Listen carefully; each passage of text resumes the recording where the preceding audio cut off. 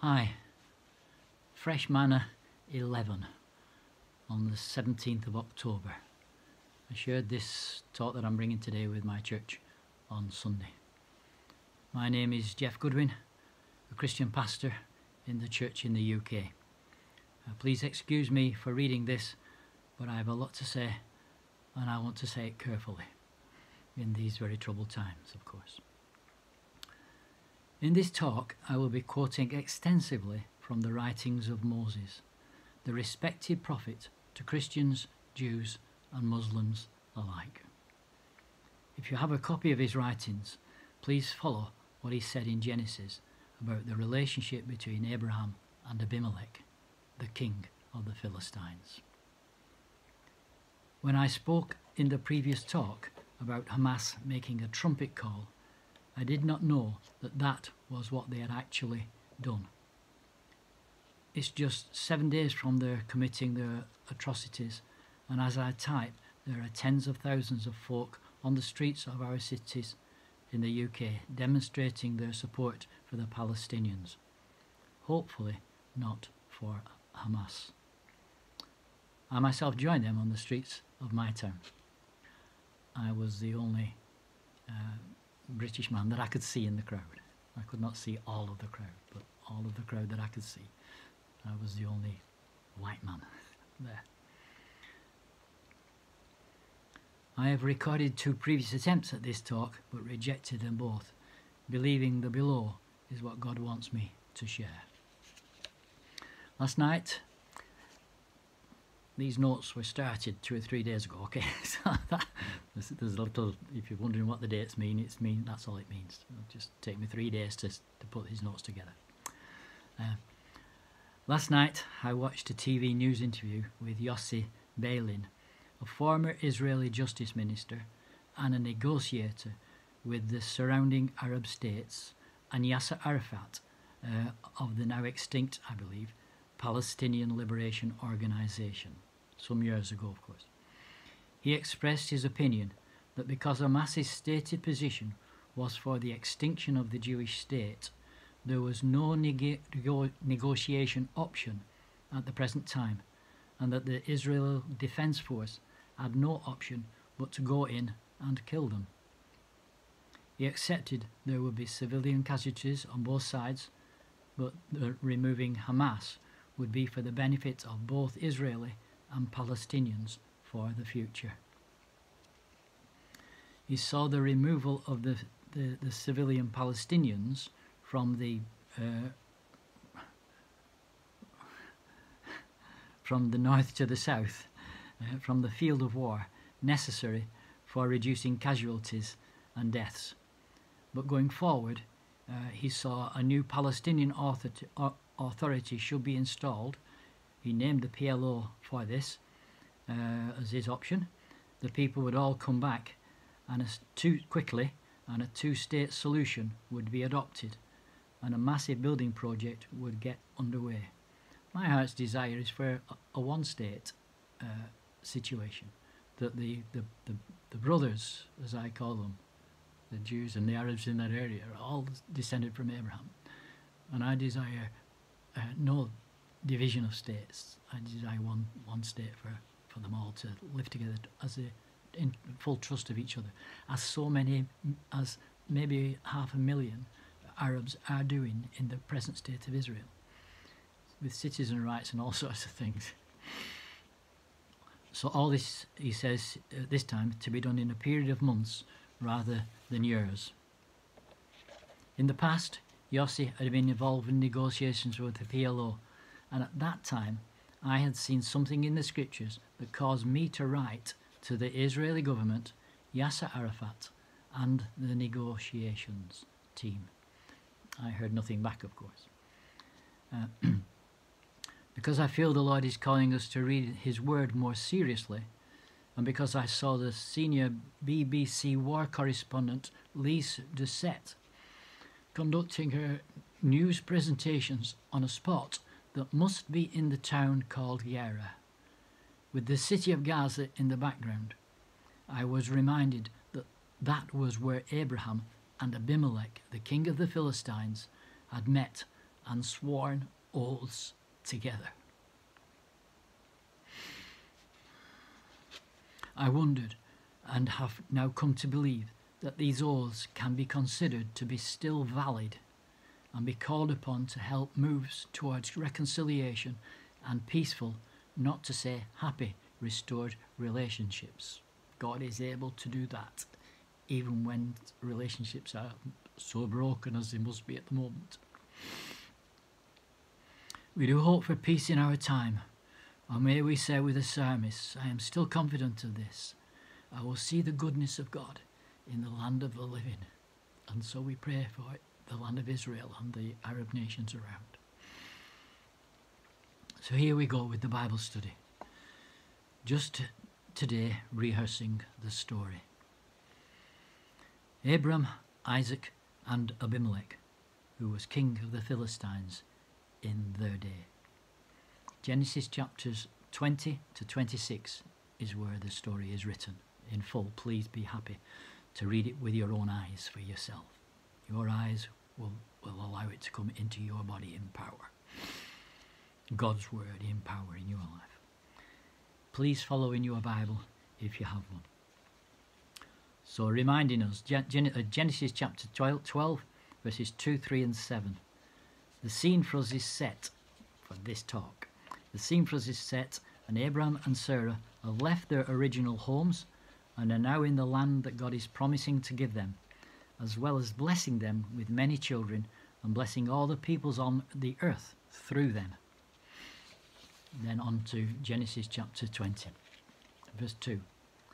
At a place called Gerar, where Lise Doucet was standing as she had Gaza in the background. Um, as a, at a place called Gerar, Abram asked Sarah to pretend to be his sister. Abimelech, the king of the Philistines, took Sarah for his wife. But Abimelech is a God fearing man, and God protected him from sinning with her. In verse 14, after reprimanding Abraham, Abimelech returns Sarah to him, giving him money and sheep, goats, and male and female slaves, saying in verse 15, My land is before you, live wherever you like.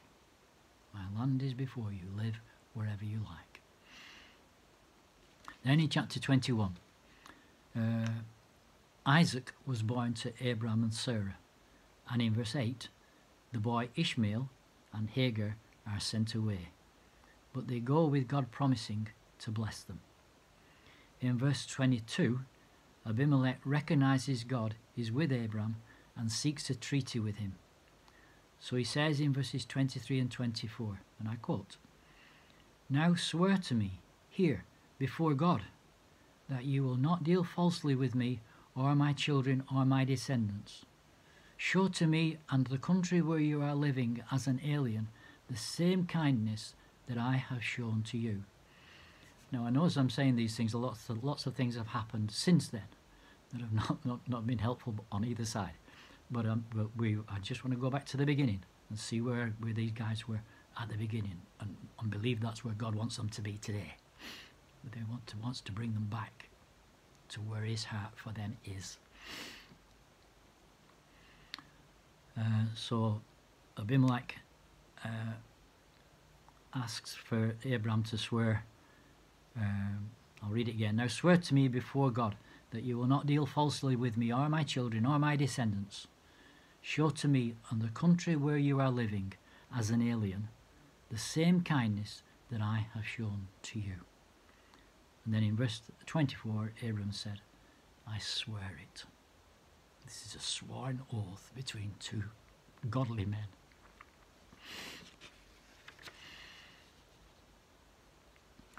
After going on, after their herdsmen had a couple of arguments about water for their livestock, uh, in verse 27, so Abram brought sheep and cattle and gave them to Abimelech, and the two men made a treaty. Then at verse 31, as a witness to the oath they had sworn, they named the place Beersheba. And in reality, Beersheba is just a few miles down from Gerar, just across from Gaza, all in the same place. today, still there. Named the place Beersheba, which means well of seven or well of the oath. Today, Beersheba is just down the road from Gerar and remains as a witness to that oath. And verse 34 Abraham, with this oath and obvious goodwill between him and Abimelech, stayed in the land of the Philistines for a long time. Him having lots and lots of herds and cattle and sheep and things, and as did Abimelech. But they weren't arguing anymore, they were living happily together. So, today I call on all parties to any disputes in that land to respect the oath that these two godly men entered into on behalf of their children and their children's children, and to live together as friends. I invoke that oath for, for peace in our time. But there is more. So let's see how the story continues. In chapter 22, God tested Abraham by asking him to sacrifice Isaac. Abraham passed the test, and in verse 16, verse 16 God said, I swear by myself again. You see, God's swearing. God's got a, a, a, a portion in this oath, in these covenants. They're inspired by Him. I swear by myself. And then he basically reaffirms the promises for Isaac that he'd given to Abraham in, in the previous times. Uh, in chapter 23, at some point, Abraham had moved to live in Hebron with the Hittites. Sarah died, and Abraham asked to buy a piece of land for her burial. Now, the Hittites, now note the Hittites' very personal response. These people are living together in friendship. So, in five, verses 5 and 6, the Hittites replied to Abraham's request Sir, listen to us.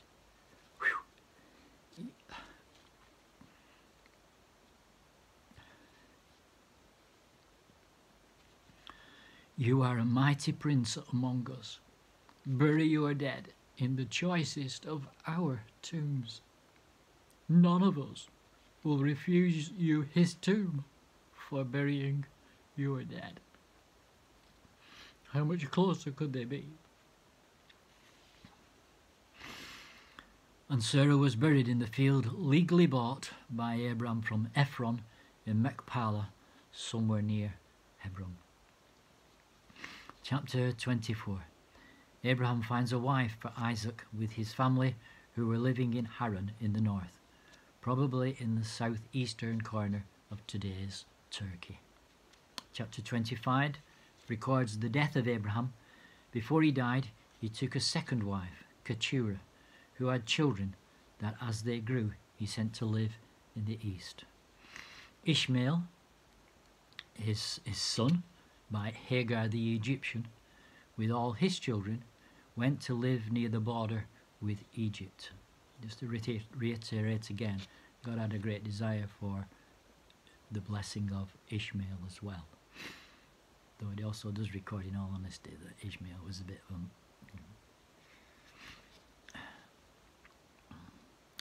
And Esau, the other player of, of, in Abraham's family line, um, uh, who sold and Esau, who sold his inheritance rights to his younger brother Jacob, prospered. He prospered in that time and went to live across the Jordan in Seir, South Jordan, as it is today. Chapter 26 is of most interest to us today. So, with verse 1 There is a famine in the land, and Isaac went to Abimelech, king of the Philistines, in Gerar. Same place, same place.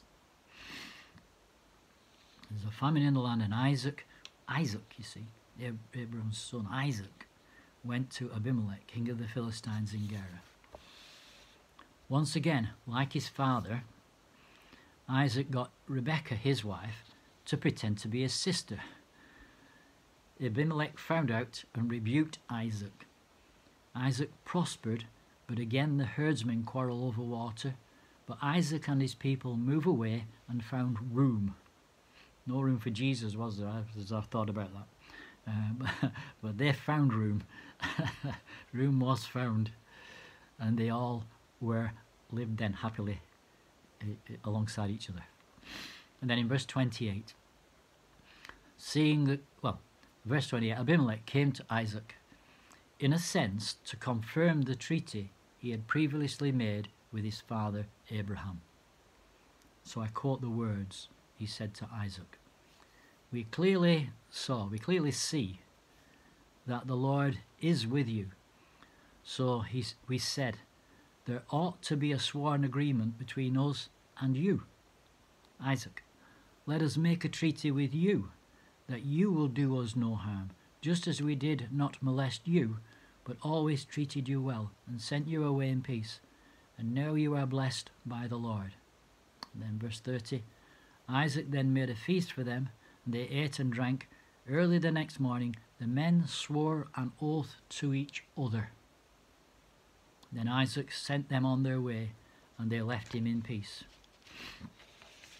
And all this took place again in Beersheba, the well of the oath. Beersheba stands as a whole town, as a witness to something that happened, to, to some oaths that were sworn a long time ago. Its abiding presence is the encouragement that these oaths remain active as far as God is concerned and should therefore be made active in the lives of the of the of the parties that, that are that are seeking to, to live together peaceably. They're not they're not struggling at that time themselves. So again I believe these oaths to be in place today and call the parties to come together and live in close friendship as I know that many are doing. As a person at a personal level, many on both camps are affirming their love for the others. There is one other covenant I need to show you. The whole story for this is in chapter 31. Jacob, having cheated his brother Esau out of his inheritance, had to run away, and he went north to his father's family in Haran. Over the next 20 years or so, Jacob married four wives and had 11 of his 12 children. Then God told him to go back to the land of Abram and Isaac, his father. In verse 25, Jacob with his family set off, but Laban was annoyed at their leaving, followed and caught them up when they had got to the hill country of Gilead.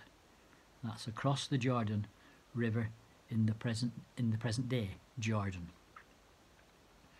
They argued a bit and ended up setting up a pillar and a heap to, of stones as a witness to another new covenant they made in the north of the land, you see. And in verse 52, here is the covenant, Laban speaking. They've set up a pillar and, they, and the relatives have all put a stone to it. So they've all put their hands to this covenant. It's not just Laban and, and, uh, and Jacob, it's the two families. This heap is a witness and this pillar is a witness that I will not go past this heap to harm you, and that you will not go past this heap and pillar to my side to harm me. May the God of Abraham and the God of Nahor, the God of their father, judge between us. So Jacob took an oath in the name of the fear of his father Isaac. He offered a sacrifice there in the hill country and invited his relatives to a meal.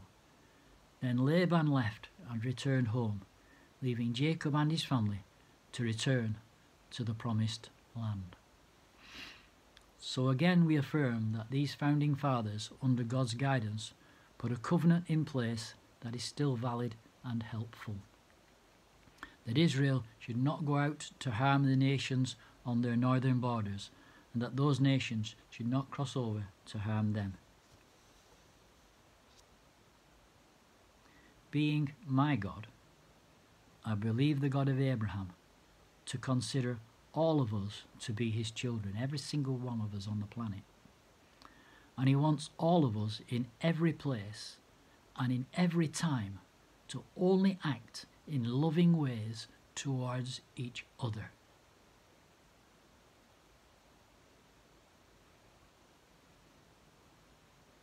In the name of the God of Abraham, I plead for peace in the Middle East.